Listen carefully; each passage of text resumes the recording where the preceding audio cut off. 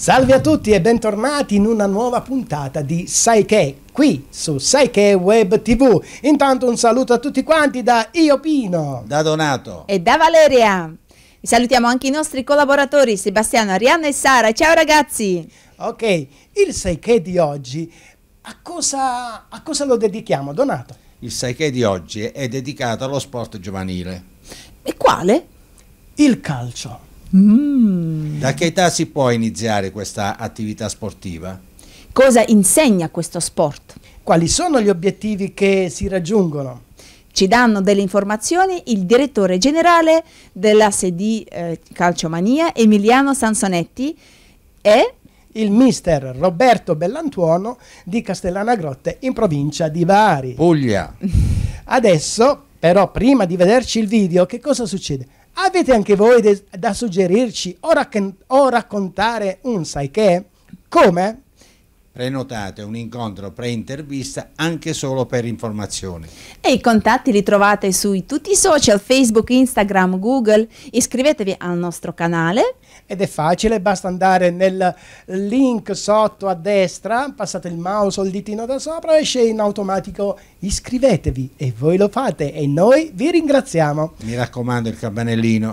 Per essere aggiornati sui nuovi video. Ok, allora è arri- proprio arrivato il momento giusto, intanto salutiamo a tutti quanti ed è arrivato il momento giusto di vederci quest'altro bellissimo Sai che.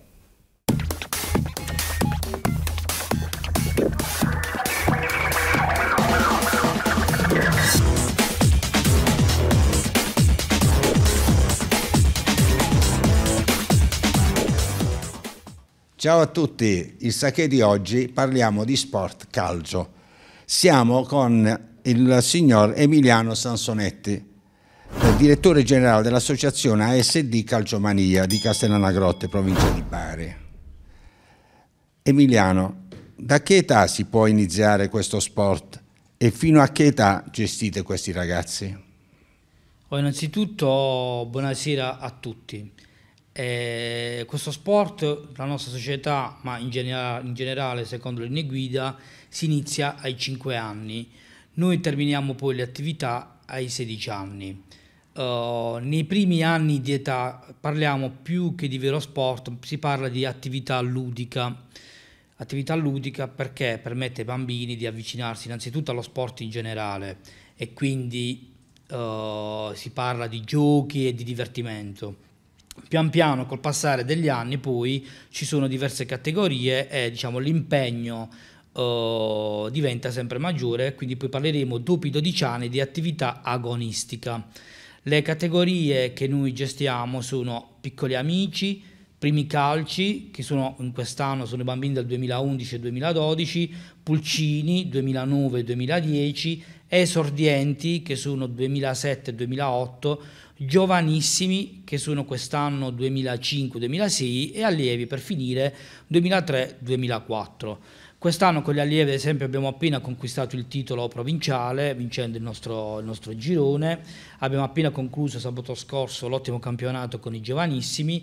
Eh, e quindi diciamo questa attività agonistica, vi ripeto perché è molto importante per chi non, non segue questo sport, non segue i ragazzi, Uh, parliamo di attività agonistica dopo i 12 anni, invece sotto parliamo di attività ludica, quindi diciamo, le linee guida uh, indicano come diciamo, principi di gioco il divertimento, il giocare tutti. Nello specifico uh, abbiamo, stiamo vedendo un gruppo di ragazzi del 2011 che sono allenati dal, dal mister Roberto che ha una qualifica ISEF come molti dei nostri tecnici e questo permette loro una, diciamo, una crescita sicura. Ai bambini di questa categoria, abbinata alla loro età, cosa si insegna con questo sport? Oh, allora, per questa, questa domanda vi, vi, risponde direttamente il, il, mister di questo gruppo, mister Roberto Bellantuono.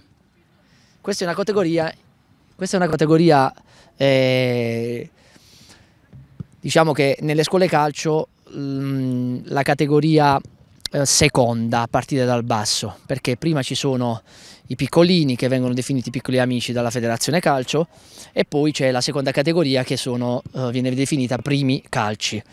E con questi bambini, con questa età, in questo anno calcistico stiamo parlando di 2011 e anche 2012 eh, diciamo più grandi, e si può già iniziare un determinato tipo di lavoro un po' più eh, sulla tecnica analitica perché altrimenti si preferisce fare un tipo di allenamento che va più verso il gioco, la situazione e quindi creare dei bambini eh, che non siano proprio dei veri e propri tra virgolette calciatori, no? quindi non si fa un tipo di allenamento ehm, analitico calcistico ma più situ situazionale, ovvero si mette un po' da parte quello che riguarda la tecnica calcistica come può essere comunemente, noi conosciamo il dribbling, lo stop, il tiro in porta, il dominio della palla, la conduzione della palla e um, si preferisce fare, uh, far allenare questi elementi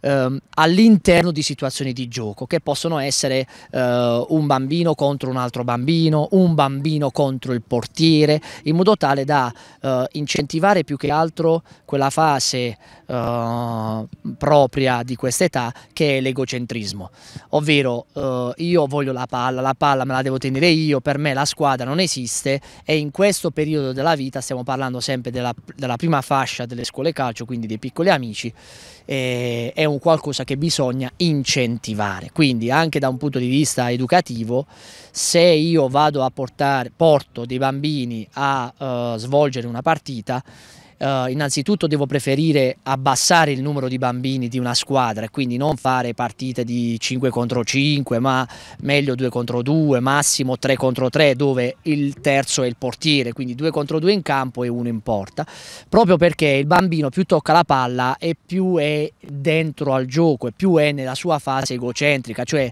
io ho la palla, la palla è mia me la devo portare a casa un po' quello che ci ha insegnato Olli e Benji no? non so se ci ricordiamo dei grandissimi Olli e bench. Mentre invece in questa, um, ah no, fine, terminando, il discorso è, è, abbastanza chiaro, cioè io do la, la possibilità al bambino di toccare più volte la palla e in quelle fasi di gioco ogni tanto si interviene per dire fai meglio lo stop lo puoi fare con questa parte del piede, non con quest'altra, il tiro lo puoi fare con questa parte del piede senza dare troppa importanza, ecco proprio al gesto analitico. Ma in effetti io ho visto prima che facevi, facevi ehm, fare il, um, il, lancio con le mani oppure il lancio con uh, una tavola dove saltava la palla, insomma ho visto diverse tecniche di base.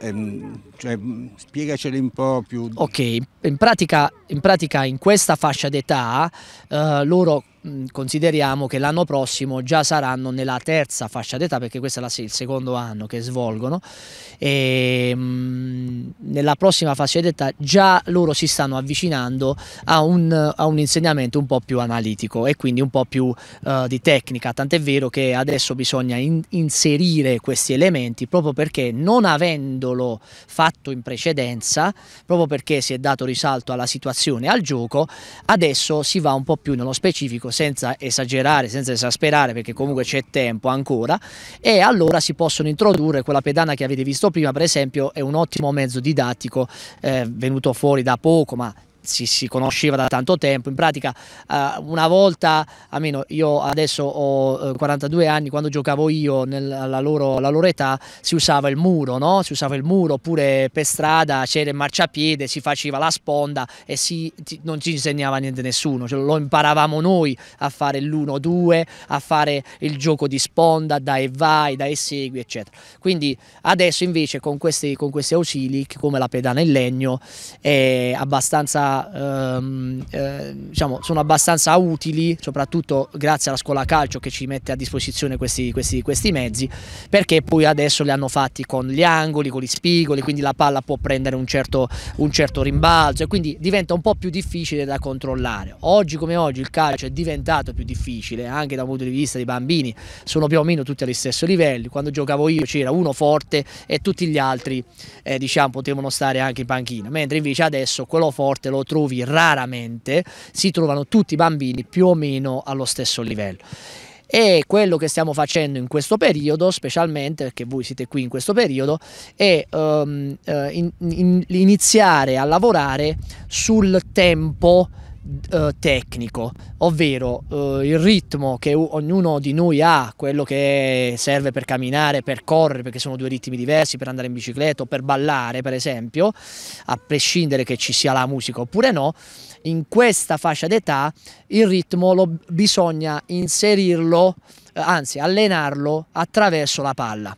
Quindi se una palla è più lenta bisogna avere ritmo, nel senso che la devo anticipare o la devo aspettare, se più, se, insomma eh, in base al ritmo della palla devo assecondare il mio, il mio team, il eh, ritmo. È una cosa altamente difficoltosa, sia da insegnare che da apprendere, però loro sono spugni in questo momento, quindi noi ci diamo dentro, ci diamo dentro, ci diamo dentro e l'esercizio in questo, in questo preciso istante che stanno, che stanno svolgendo è quello proprio di aspettare eh, prendere la palla con la suola della scarpa anticipando il rimbalzo della palla, quindi diciamo di controbalzo un po', no? E portarsi la palla in avanti per avere la possibilità di tirare, anche se questa palla è alta, perché la difficoltà effettivamente è che quando le palle sono alte non si, non si riesce a fare lo stop di petto, lo stop di coscia, a meno che il bambino non è già evoluto, allora si cerca di iniziare piano piano.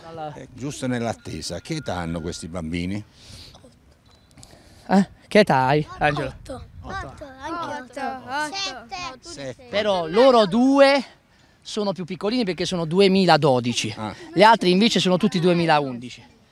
L'anno prossimo si trovano a giocare i 2011 in coppia con i 2010, quindi con quelli più grandi di loro di un anno, e eh, invece i 2012 faranno coppia con quelli più piccoli, 2013, perché di solito si accoppiano sempre in questo, in questo modo. I 2011 di quest'anno con i 2010 l'anno prossimo diventano categoria pulcini, che è la terza categoria partendo dal basso, mentre invece i 2012 hanno ancora un altro anno di questa categoria che si chiama primi calci, che è la seconda partendo dal, dal basso, mentre invece eh, la SD Calciomania ha eh, il gruppo dei piccoli amici, si chiama, che sono proprio la base di ogni scuola calcio, Bene Roberto, noi ti ringraziamo e a un'altra occasione. Grazie a voi. Ragazzi, buon divertimento. L'uso nostro?